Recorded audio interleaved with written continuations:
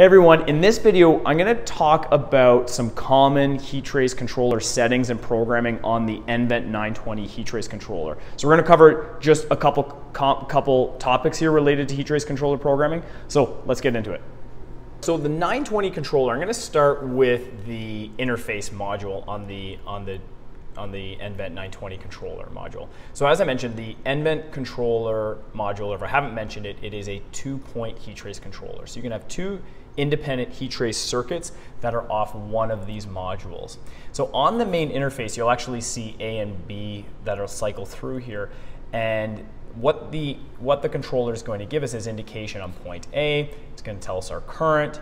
It's going to tell us our current temperature, what our set point is, and then if there were any alarms, it's going to tell you those alarms as well. So point B, this is our demo lab. So there's a ground fault trip that we've set up on this one um, on point B.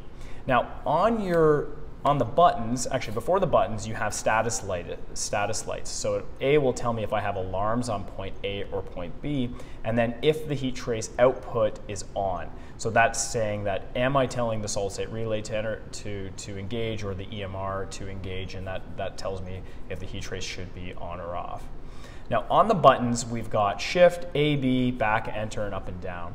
And you'll see these subcategories right here. So the shift enables these subcategories. So for example, if I wanted to take a look at alarm, I will hit shift, alarm, and it'll tell me, it'll go through all of my alarms for point A, and if I scroll down, there's no more alarms. If I want to see the alarms on point B, all I have to do is hit AB, and now I can see what my alarms are on point B. And then I can scroll down, I see I've got a ground fault trip and a high ground fault and no more alarms. Okay? And I can just keep hitting back until I'm back to my main display. So the how to configure a 920 is actually um, a little bit complicated. So in here I've got monitor and I've got config as my secondary buttons. Now, how the 920 works, and there's resources below and a, actually a really good cheat sheet in terms of all the configuration options. But when you get into configuration, um, there is some very high level basic settings in terms of set point, low temperature, um, low temperature setting for TS1, low load, and ground fault settings. And then after those specific settings, the 920 goes into subcategories. So I'm going to show you that now. So I'm going to go to point A. I'm going to go Shift Config, and then I'm right into control the, the control set point. And if I go down, then I'm seeing, sorry, I skipped one. If I go at low TS1, so the low temperature sensor one alarm threshold, low load setting, high ground fault setting, ground fault trip setting, um, and then after that, I'm in subcategories. So the subcategories are gonna look at TS alarm configs, I'm going to go to other alarm configurations. I'm going to go to point setup. There's common setup and then communications setup. And then inside each one of those subcategories is a crazy amount of options. So the cheat sheet that is in the attachment um, will be um, will be a godsend in terms of you know a resource to use to know hey if I want to change this what ca what's categorized into rather than having to go in layer after layer of, of configuration settings. So the first one I thought we would touch on is, um, as, a, as we saw here before, is the control set point one. So to make changes on here is really, really easy. So all we're gonna do is if I wanted to change the set point on the C-Trace controller, I then am selected on it, it's gonna scroll through, and then I'm just gonna hit enter and then I can make modifications to it. And if I like where I'm at, I can just change it. Now my control set point is set to 50C. Okay? Same with if I wanted to make changes to my low temperature sensor one setting, low load setting, I can make these modifications right here. Okay? And if I want to back out and get out of this display, you can, we can wait a period of time and it'll just go back to my main monitor, I can just keep hitting back until I'm now in display mode. The next item I wanted to chat about is the auto cycle. So to change the auto cycle on a, on a 920 heat trace controller, we're gonna go back into shift and then config. And then what I'm gonna do is I'm gonna scroll to point setup. So I can keep scrolling down. So I'm in TS alarms config category, subcategory, other alarms. and then point setup. So once I'm at the point setup, and then I can hit enter, and now I've got options to change various things here. So I'm going to keep scrolling down until I see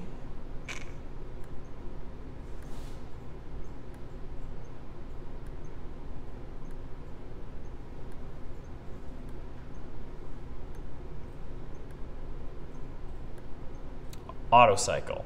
And auto cycle is set to enable. So that's the first step is if, I, if this wasn't enable, it would, it would be disabled, but I definitely want it enabled. So set to enable, I'm gonna hit enter. Then I'm gonna scroll down, I'm gonna see what the auto cycle interval is. And this is set to six. So typically what we recommend is that this usually gets, depending on where you are in the world, this usually gets set to 24. And then the auto cycle units is set to hours. So you can set this to hours, minutes, I guess just hours or, or minutes. And then once you have that done, is that your auto cycle interval and auto cycle enabled disabled is making sure you're doing that for both point A and point B. And how to do that is point B, auto cycle set to disable, is just going between A and B when you're already in the configuration settings. So you don't have to go all the way back, go B and then into configuration. So that is a little handy. So if we're gonna set point B, I'm gonna go to enabled, so auto cycle is now enabled. Auto cycle interval is set to eight hours, so I would set this to 24. And then auto cycle units is set to hours, so we're good. And then those are all the configurations I'm gonna make. I can just keep hitting back until I'm back to the main display page. Next thing I'm gonna talk about is how to set up an ambient um, heat trace, um, ambient heat trace circuit within a panel. So the 920, because you've got separate modules, is if you wanted certain circuits to be ambient controlled, what the 920 nVent's done is, is, is something pretty, pretty cool where because these aren't connected, you know, there's, there's no data connection between these two modules, is instead what they've done is within an entire panel, you could have one ambient RTD master, and then you could have ambient RTD slaves within the same heat trace control panel. And how they do that is they're using, um, you have to configure this and then you have to wire external inputs, outputs between these modules. Okay, so how we do this is a um, it, there's a few steps to this, and the documentation and the guides below um, will will help with this if you have any questions. There's some great wiring di uh, diagrams in the appendices, and then there is a configuration guide to get you through this. But the first thing we have to do is set a pro uh, set an ambient master um, heat trace controller. And the ambient master is typically will be, will be set to the first ambient in your panel, but it doesn't have to be. But there's two steps to do it for an ambient master. So the first one is we have to set up the 920 module has contacts that are set to um, external output and external input. And we have to configure those appropriately for ambient master or ambient slave. And then once that's done, we have to go to the point setup and we have to set the RTD control mode of the controller. So it's like a two-step process that we have to do here. So let's say, for instance, we're gonna have point A on controller one, so 1A. We're gonna set this as our ambient master, okay? So the ambient master is, the first thing we're gonna do is we're gonna select A, we're gonna go into the config mode, and then we're gonna go to common setup. So I'm gonna keep going through here, point setup, common setup. And then once I'm in here, I'm gonna scroll till I see external input is set to temp bus, and then external output set to temp bus. So actually external input for a master is going to be set to not used, okay? But the master is gonna be set to an external output is gonna be set to temp bus. So what's happening is, is that the RTD that'll be connected to point 1A will be reading the temperature and it'll output that output that to all of the ambient slaves you want to have in a heat trace panel. So I have to set the external output set to temp bus on the master only. Now once that's done, the next thing we're gonna go is we're gonna go to point setup. So I'm on common setup. I'm now going to go to up to point setup, and there's a couple things here that we need to do. The first thing is we're going to go to TS control mode, and sorry, I wanna go to TS fail mode first. So anytime you have an ambient circuit, the safest thing to do is that if that RTD were to fail in the field, you want to have a safe mode where the heat trace will energize if your RTD fails. Now, you can't always do this, um, but for ambient circuits, it's certainly safe to. But if you have RTDs that are located on process piping or process equipment, you need to take that into consideration. There's some design considerations to take, but for ambient, it's very safe to always set this to, um, to TS, fail mode is set to on, okay? The next thing we want to take a look at is the control mode. So the control mode, what we're going to set to is we're going to go to TS1, we're going to go to external input external, oh, sorry. Actually, my apologies. We are going to go because it's the ambient master. I'm just gonna keep scrolling through this so we get back on.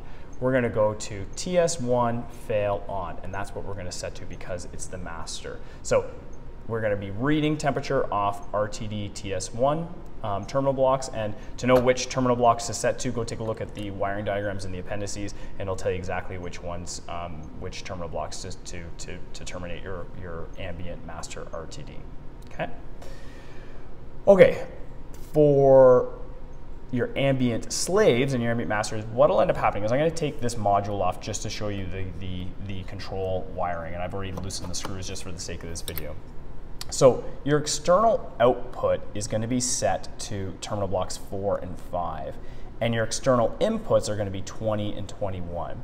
So my ambient master on circuit A will have an external output coming off terminal blocks 4 and 5, and any ambient slaves, so even point B or 2A, 2B, um, you then wire the external inputs to 20 and 21. Again, take a look at the, the documentation and the appendices for the, for, the, for the wiring diagrams. But that physical wiring has to happen inside the panel if you want one master, ambient master, and you want to have ambient slaves um, connected to it.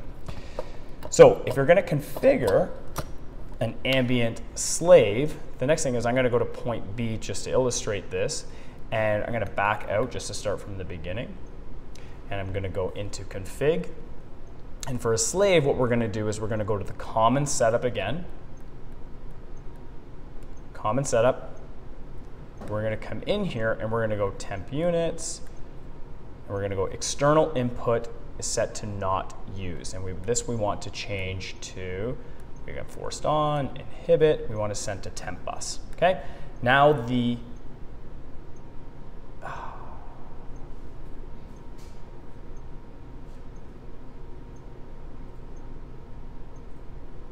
Clem, there's gonna be some editing you need to do here.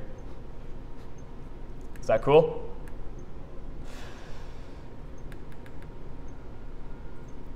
Okay, so to get into the point setup for an ambient slave, I'm gonna use point B just to demonstrate it on the same controller. So on point B, I'm gonna go to config, and then the first thing I'm gonna go to is the common setup. Okay, so I'm in common setup. I'm gonna come in here and I'm gonna go to external input is set to temp bus. So typically this may be set to not use, but I'm gonna leave it as set to temp bus. Hit enter, external input, temp bus. Now the next thing I need to do is then go to the point setup. So I can hit back, now I'm back up a sub menu. I'm gonna go up to point setup. I'm gonna come into this, and then what I'm going to select is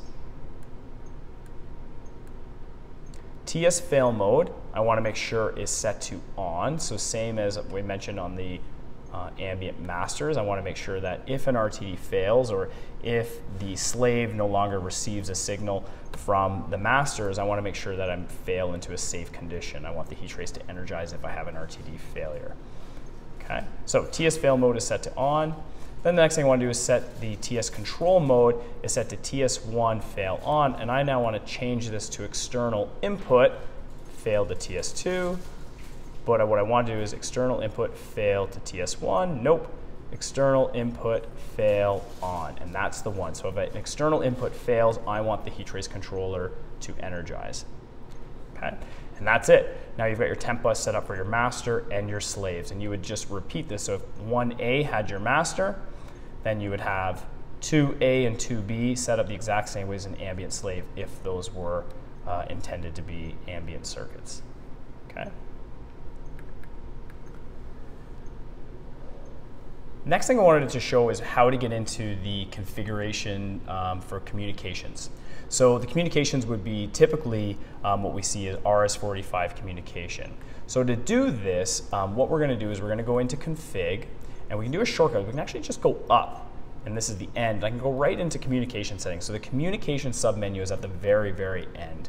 And like I mentioned, documentation, some cheat sheets um, attached to this video um, will be a good resource. So once I'm at the communication, the one thing we need to do is if you're using RS-485 communication is you have to set the protocol. So by default, the protocol is always set to HTC bus. So this is old serial communication, and I've only ever seen this used once, but if you're gonna use, have your 920s control to a supervisory software, um, always set it to uh, Modbus, okay? And you can use Modbus RTU or ASCII, but hopefully you're using um, Modbus RTU, okay? Once the protocol is set to Modbus RTU, then what you need to do is you need to set the Modbus address for each point. So point A, point B gets its own individual Modbus address. But the 920s are the only heat trace controller I know that go a step further and they have a sub address. So this is really important. So you need to know what your address of your heat trace controller is, Modbus address, but then also the sub address. And um, if you have any interest in why that is, shoot us a note and I can geek out about Modbus communication on the, on the 920 series. So Modbus address for point A is set to four. If I wanted to change it, I can just clearly, I can just simply go in and make modifications to it and hit enter. The Modbus sub address is also set, so you can set it to zero um, uh, to 32. And then if I keep scrolling down, I'm then gonna set the baud rate, and typically this is set to 9600 parity none, and um, those are the only ones that, um, that you can, um, you can make um, changes to. So that's how you get into it. But remember that if you change the protocol configuration or Modbus addresses, you need to take into account both way A and B. So I can go to B and then go into the Modbus address, and this will be independent of point A. So they both happen to be 4, which is fine because the sub address, if I go to point B, and I go to the Modbus subaddress, this subaddress will be 1. And if I go to point A, this Modbus subaddress will likely is 0. Okay, so that's how they differentiate. You can never have the same um, address and subaddress on point A to point B. Okay, and then what you need to make sure is as you go through your panel that you have independent addressing for each one of them. You do not want to have a duplicate Modbus address and duplicate sub address because you'll have you'll run into heat trace communication um, heat trace communication issues. But that's it, guys. Hopefully that this was uh, hopefully this was useful and gave you you know an insight to a little bit of the most common items how to um, within the 920 and how to how to access them and how do you make some changes and configurations. Thanks everyone. Take care.